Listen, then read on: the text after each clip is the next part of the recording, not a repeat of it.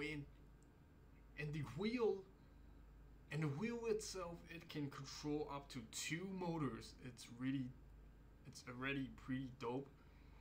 And oh and the wheel and the wheel itself it can control two motors at the same time. And if you add additional handle on there you can control four motors at the same time. I think